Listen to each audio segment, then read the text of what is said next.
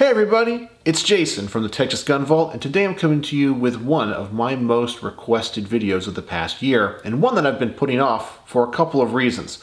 This video is going to be a complete breakdown and part list of my Mark 18 Mod 1 Block 2 clone rifle build, as you see in front of you right here. I've been wanting to make this video to help out other people wanting to build similar rifles. I know that I put a lot of time and effort into finding the right parts, sourcing the right parts, and actually finding a proper list of everything that goes on one of the Navy Mark 18 Mod 1 builds. And the reason I have been putting this off is because on many of my other Mark 18 builds, often people want to be what I refer to as clone clowns. So if you're one of these clone clowns, don't even bother watching the video and don't even bother commenting on the video because I'm not even going to put up with your comments. What a clone clown is, for those of you who might not know, is somebody that likes to go around, nitpick these clones to death, and then tell me how stupid I am, how much I wasted my money, or how incorrect the gun is, because for some reason, they seem to think that they have way more knowledge than me, and they just want to make me feel bad and be mean to me. I get that all the time. I know it's so silly, but I'm just gonna go ahead and tell you, if you plan on being mean to me, don't even comment. I'm just going to delete you from the channel, and that's it. It doesn't hurt my feelings. I normally get two types of clone clowns. The first clone clowns are the ones that nitpick my rifle apart, say, that's not right, that's not right, that's not right. Then I'm able to show them pictures of actual guys in the Navy using this equipment with this exact same setup, and they go, oh, well, but, uh, and then I go and look at their channel, if they even have one, and they have a Mark 18 inspired build that uses like an Anderson manufacturing lower with a Palmetto State 10 and a half inch upper, and they think they have a Mark 18. They didn't even go through half the effort that I did to find the correct parts. It's so funny, they nitpick my gun apart, I look at theirs, it's not even a Mark 18. Number two, the second kind of person that comments tells me, if you really want a real Mark 18, go join the Navy. I'm like, well, number one, I'm 41 years old and have an autoimmune disease called rheumatoid arthritis. I couldn't join even if I wanted to, which I don't want to join because that's not the career path that I took. And I probably wouldn't have made it into special forces. Not the strongest, not the fastest, and I got a dad bod, which I'm pretty, which I'm pretty proud of. So anyway, I couldn't get issued a Mark 18. And as a civilian, I can't get a fully automatic lower. So if you're gonna come on here and tell me how stupid I am, this isn't a real Mark 18, it's not full auto, well, I'm a civilian. I can only build semi-auto. And that's it. So, with that said, and I had to preference the video, and this is the whole reason I have been putting this video off for so long to help out all the people that have been asking me. And you wanna know what the real parts of this build are, and where I source them, and if they're clone correct or not, Stay tuned. I'm going to get this on the bench. We're going to break down the upper, the lower, the suppressor, and all the accessories. So let's go ahead and do that now. Okay, so we're going to start with the lower receiver. And before I go over every single part in this, I need to remind you of a couple things when it comes to a Mark 18 build. There's a couple ways that you can go at this. Number one, you can go after just the specs, meaning you want to get the right barrel length, generally like a mil spec lower, some parts that look right, and you generally have a Mark 18. Then you can go the route that I did, which is to try to find as many of the authentic parts that could have been found on a Mark 18 as possible and use that to build. That's more time consuming and obviously uh, more expensive. And the other thing too you have to realize when it comes to a Mark 18 build is that not all of the parts that you will find in pictures or online or even parts lists are necessarily what was used during the entire run of the Mark 18. So it's not really a specific list of parts, but a set of parts. So for example, there could be variations in what the grip or the color of the stock or a number of different things. So just because I chose to go a particular way with my build does not mean that it is not clone correct or that using another part, and I'll try to go over what those parts are, doesn't mean that your clone is incorrect. As I said, over time they changed parts and sometimes they would build them with particular grips or different stocks, and they were still Mark 18s. Okay, so I'm just gonna go over my particular build. The first thing we're gonna go over here is I got a Colt Defense. Obviously, this is semi-automatic only because it does not have the third pin. But this is a government property, U.S. property, M4A1 carbine marked lower. The Mod 1s used a M4A1 lower, and the Mod Zeros used an M16A1 lower. So this is about as close as I can get as a civilian to what would be on a real 18 uh, Mod 1 or Mark 18 Mod 1. I did have some engraving put on here, Navy 18-1, and I'm going to roll in some pictures while I'm talking about this of actual Mark 18s. And you can see that this engraving is in the same font and is in the same size. I had this done by Ident Marking Services. The only thing that I left off is in the originals, they would cross out M4 carbine. Uh, they might just do that as a surface mark or uh, maybe an etching, but because this is a rifle that I don't want to, number one, break any laws with, so I do not want to deface either the serial number or the uh, marking of the model. So I can't really do that. The engraving here is also etched into the receiver. Some people say that they were surface marked like the Mod Zeros, and some people say they were etched in and laser marked in a little with a little bit of depth. The pictures that I have that I've kind of rolled in now show depth to this. So that's what I had ident marking do. Okay, all of the parts, the lower parts, like for example, the takedown pins, the magazine catch, the bolt catch, they are all Colt parts kits, like everything that you would get on a normal Colt AR-15 rifle. That's what all the parts are, the detents, the springs, so forth. There's nothing special about that at all. When it comes to the grip, I went with a Knights Armament A2 in taupe. Now, a lot of the Mod 1s, I'm sorry, the Mod Zeros came with an A1 grip. Uh, the Mod 1s came with an A2 grip. They also came with Magpul grips, but many times the end user could change them out to a grip that they preferred. So I have seen pictures of Mark 18s with ergo grips on them as well. So this is one of those parts that just because I went with a Knights Armament A2 in taupe does not mean that this is clone incorrect. Because as an end user, I can put on anything that I want, and I thought this color matched the color of the build. And this is something that any end user in the Navy could have put on. But this was not a specific part. So you can put on an A2 and be correct. You can put on a Magpul and also be correct. They were all used uh, in some capacity. Uh, let's stick with the front of the receiver here as well. So uh, we'll go to the trigger group. This is going to be a Geissele super semi-automatic trigger. So it's a two-stage trigger.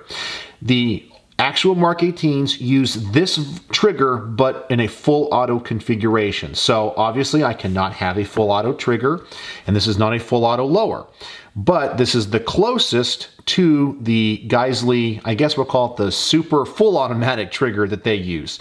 Um, so this is just the civilian version of that.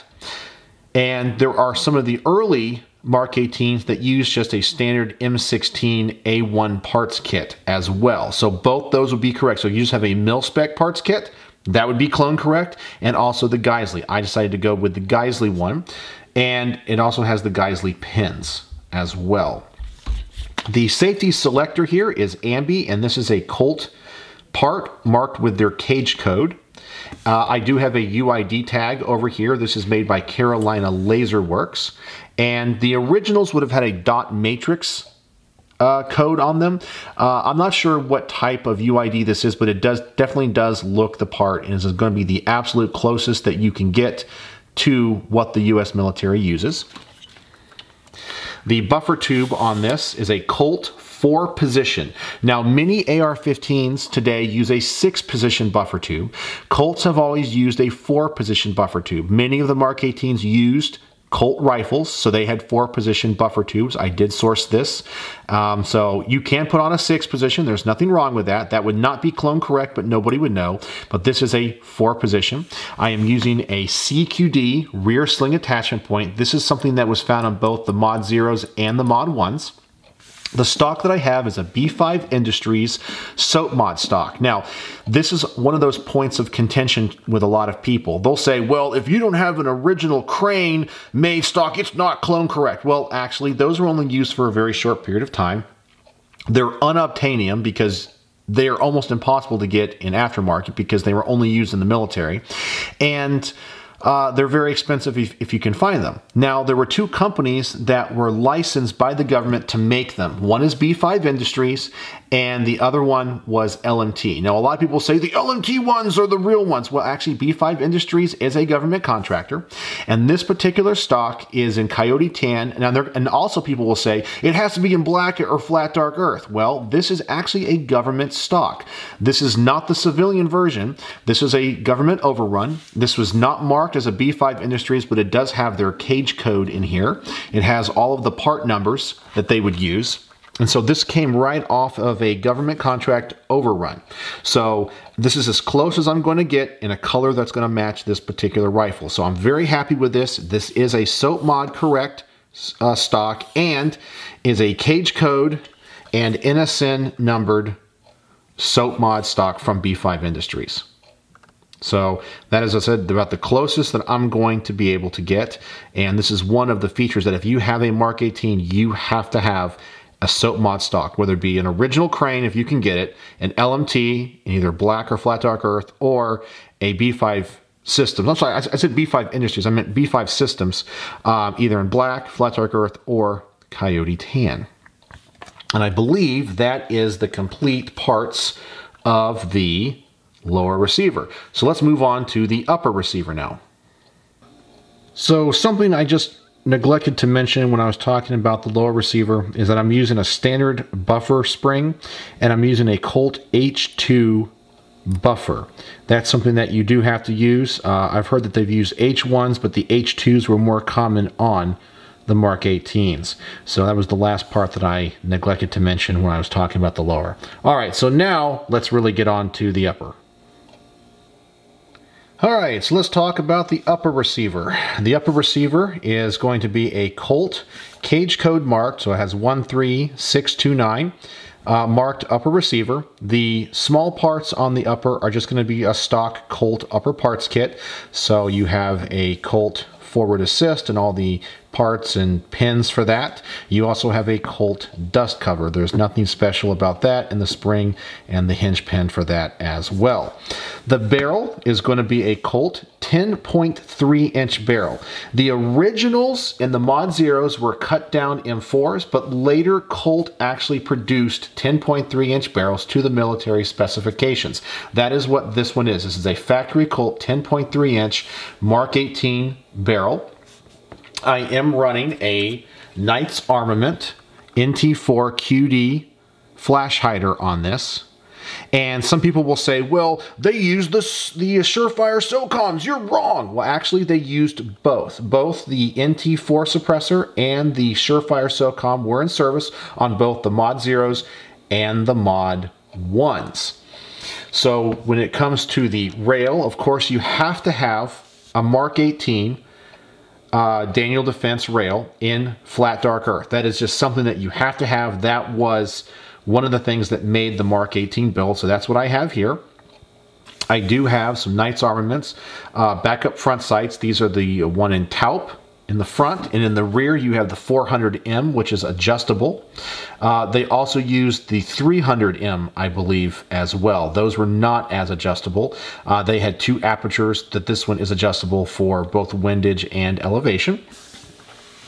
Uh, I'm running a Tango Down vertical foregrip. This is the correct one with an NSN number uh, that the U.S. military uses. They did offer uh, also Knights Armament vertical foregrips if you want to go with that direction, but this one matched the color. And these were found more on the Mod 1s than on the Mod Zeros. Let's talk about the bolt carrier next. So the next thing is going to be, as I mentioned, a Colt mark. So it's going to have a C here on the side of the bolt carrier. So this is a Colt bolt carrier. All of the other parts are Colt. So the cam pin, the firing pin, uh, and the bolt are all Colt. And when it comes to the bolt, you do have to do the what's called the BCM extractor upgrade. So sometimes Colt rifles will just have an extractor spring. This has a uh, rubber O-ring that goes over that spring to help aid in extraction on the shorter barrels. And so that was something else that the Mark 18 program had. So you have to have that as well, but everything else here on the bolt carrier group, full auto profile, Colt. The charging handle that they use is made by PRI. This is the Gas Buster charging handle. They offered them both in black and this is a desert tan and they use the military latch. They offer this Gas Buster charging handle with three different latches and the US military uses what's referred to as the military latch. So that's what this one is and of course I got it in the tan color to match the theme of the rifle. The magazine that I use with the gun, this is a government contract GI mag. Uh, I forget who made it, but the cage code is 6P199 with the blue follower. Uh, also, I think the color matches the theme of the rifle very, very, very well. The suppressor that I'm running is the Knights Armament NT4 in taupe. They also had them in black. Uh, so these were found more on the mod 1s, I'm sorry, the mod 0s, but they were also found on the mod 1s. As I said, this is one of those things where they could uh, kind of pick and choose. So sometimes you see them with Knights Armament cans, and sometimes you'll see them with Surefire cans.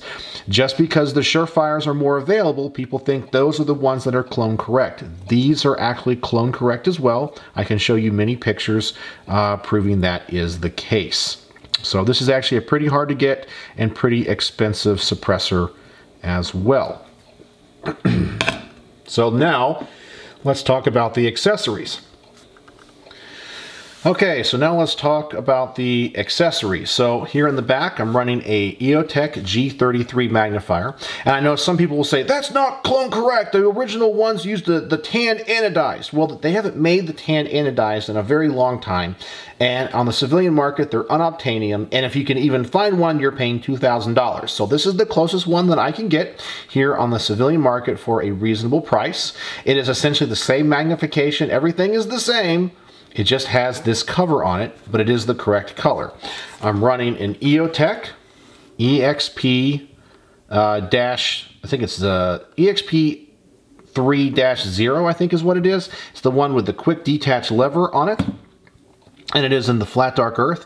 The original ones would have had some markings down here. Um, that's another thing that I cannot get in aftermarket. They will not release those. I could try to copy it and have uh, this laser etched, but the ones in the military did not have the EOTech marking up here. So there's nothing I can do. This is just the best that I can do. So if you're going to be a clone clown and tell me that that is incorrect, number one, I know, but that is the very best that I can do. Then on the top here, I have an Insight Technologies, which is also owned by EOTech. Uh, this is the civilian version of the PEQ 15, which has a infrared illuminator, infrared laser, and a visible laser and it does not have the high settings. It cannot by law. So they won't sell them with the high settings. As you can see, there's even a block here on them. But even if you could get it past the notch past that point, it doesn't have the electronics inside that would allow for the higher settings. Uh, so this is the civilian version of that illumination and laser aiming system and I'm running a Surefire Scout Light. Now, this is another point of contention. I know the originals would have run an Insight Technologies WMX light. I know that. But if you look at many of the pictures and of the later uh, Mark 18 Mods 1s, they had Surefire Scout Lights. Many of them would have the longer Scout Lights, but some of them had the shorter ones. This is what this one is. This is the 300C. So I think the 300C, which is more compact, looks better on a shorter gun. But if you wanted the higher higher illumination. You can get the longer one that has a longer uh, battery um, casing for it, so it has more uh, power. They are all correct. Just because the originals used Insight technology doesn't mean that that a Surefire is incorrect. They did use Surefire scout lights of various models, so any Surefire scout light is clone correct. I have pictures to prove it, and I will uh, roll all the pictures I in or all the pictures I have in at the end of this video so you guys can check them out for yourself. So when it comes to deciding how you activate each, uh, whether it be the laser aiming device or the Surefire Scout Light, I have a Tactical Night Vision uh, TAPS system here. Now this is not necessarily clone correct, but there was never an official uh, button system for the Mark 18. Some of them you would use your hand at the top, some of them would have just the button here on the side on the back of the Scout Light.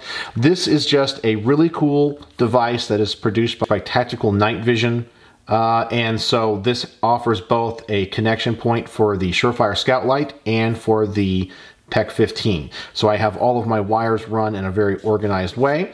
I am using the Ergo Grips rails and the rail ladders that also have the points or the attachments so you can run wires through them as well for your cable management. I am also running a CQD forward sling mount. This is clone correct. If you're going to have a Mark 18, you got to have this sling mount as well as the one in the back that I mentioned. When it comes to the engraving, now this is also something that if you really want to be clone correct, you got to have. All of the uppers in the Mark 18 program were serialized. They were not serialized the same as the lowers. They had a separate serial number. So the numbers always began with 1 0 if it was a 10.3 inch barrel and 14 if it was a 14 inch barrel, followed by two zeros and then a unique four digit number. So this number is not the serial number of the gun. This is just a number that I made myself. This one is etched in. Some of the pictures I've seen show etchings, some of them show surface marks. So I went, I went ahead and got an etching so it has a little bit of depth to it. This little tag here was also made by Carolina Laser Works and it is the closest that he could come up with based off of the pictures that I could find of the UID tag that goes on the upper receivers. So I think he did a really, really cool job on that. It's really hard to attach because they attach them on the side of the receiver where it's curved. So when you get these, they're flat and you kind of have to bend that tag uh, to make it fit and to stick. But I got that one to work pretty well. So I think that is about everything I have on this build. And I think I went over every part. So if there's anything you think I left off, let me know and I'll get you the information. I'm also going to put a complete parts list in the description below so you guys can build this rifle exactly as I did if that's what you want. And um, if you, you kind of want to use it as a starting point and maybe go in a different direction, you can do that as well. So there you go. So that is a complete parts list for my Mark 18 Mod 1 Block 2 build.